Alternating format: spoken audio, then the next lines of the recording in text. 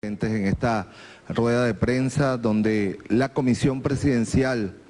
designada por el ciudadano presidente de la República, Nicolás Maduro Moros, quiere informar de la culminación de una primera etapa de información y de consulta a amplios sectores del país acerca de la iniciativa tomada por el presidente Nicolás Maduro Moros en ejercicio de sus facultades constitucionales, específicamente del artículo 348 de la Constitución de la República Bolivariana de Venezuela, para convocar una Asamblea Nacional Constituyente como una fórmula, como un mecanismo que permita abrir y recuperar un espacio para la política, que aísle a la violencia, y que se recupere el diálogo, el debate de ideas, la confrontación en el plano de las ideas de dos modelos que son antagónicos, pero que estamos obligados a convivir para garantizar la independencia, la unidad y la paz de nuestra querida patria Venezuela. Esta comisión comenzó sus funciones el 2 de mayo de este mismo año. Es decir, tenemos 20 días de trabajo en los cuales nos hemos, como lo decía anteriormente, reunido con los más amplios sectores, explicándole en primer lugar el decreto presidencial, donde se informó y se debatió y se dejó muy claro la absoluta competencia constitucional que tiene el presidente de la República para tomar la iniciativa, e igualmente sobre el carácter de la elección universal, directa y secreta que tendrá, que mediante el cual serán electos los constituyentes y la constituyente. En esa consulta que iniciamos el propio 2 de mayo, logramos reunirnos con aproximadamente 3.500 personas aquí en el Palacio de Miraflores, solamente en el Palacio de Miraflores, incluyendo los partidos políticos del gran polo patriótico, partidos de la oposición no alineados dentro de la llamada mesa de la unidad, con excepción de uno de ellos, Visión Venezuela, que participó, federaciones sindicales, tanto de la oposición como aliadas a la Revolución Bolivariana, las comunas y los consejos comunales, representantes y dueños de comunicación, el cuerpo diplomático acreditado en el país, rectores de universidades nacionales, gremios empresariales, personas con alguna discapacidad, pensionados, campesinos, pescadores, indígenas, federaciones y centros de estudiantes, la Organización Bolivariana de Estudiantes, los movimientos de mujeres, los movimientos intelectuales y cultores, las iglesias ecuménicas, la Conferencia Episcopal de Venezuela, a quien agradecemos habernos recibido el viernes pasado en su sede, concejales, legisladores regionales, miembros de la Asamblea Nacional Constituyente de 1999. De manera especial queremos destacar que hemos recibido de 236 consejos municipales, acuerdos municipales respaldando la iniciativa de la Asamblea Nacional Constituyente. De igual manera, 22 consejos legislativos de los estados del país se han manifestado en ejercicio de su mayoría con sendos acuerdos para eh, respaldar la iniciativa del presidente de la República, Nicolás Maduro. Hemos recibido también, y seguimos recibiendo el día de hoy, ya viene una movilización en camino, siete grandes movilizaciones en representación de 12 sectores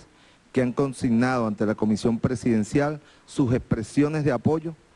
a la iniciativa del presidente de la República, Nicolás Maduro Moros. De igual manera, los días jueves y viernes, en 69 mil espacios educativos del país, escuelas, liceos, universidades, centros de investigación, ambientes de estudio de las misiones Robinson, Sucre y Rivas, se dio un gran debate en el cual se estiman participaron 600 mil personas a lo largo de todo el país. La comisión también se desplegó a nivel nacional en 22 estados de nuestra patria. El estado del Tamacuro, Portuguesa, Sucre, Falcón, Amazonas, Barinas, Miranda, Aragua, Cojedes, Distrito Capital, Vargas, Carabobo, Apure, Lara, Zulia, Táchira, Mérida, Trujillo, Monagas, Anzuategui, Bolívar y Yaracuy, lo cual permitió realizar 36 reuniones y grandes actos en los cuales se estima la participación de unas 37 mil personas. Es apenas, bueno, un resumen del conjunto de encuentros, actividades y reuniones que realizó la comisión presidencial. Queremos decir que en todas estas reuniones se recibieron críticas, observaciones, aportes,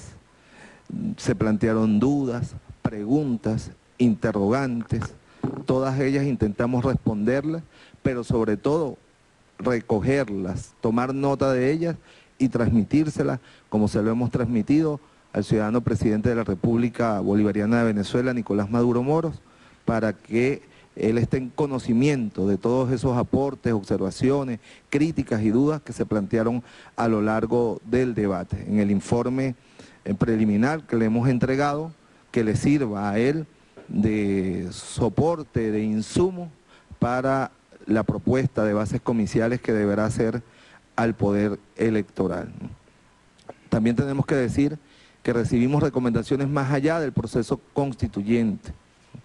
tales como la recomendación de que en paralelo al proceso constituyente se mantenga el cronograma electoral de las elecciones regionales, medidas para desactivar el odio, la escalada de violencia y muerte,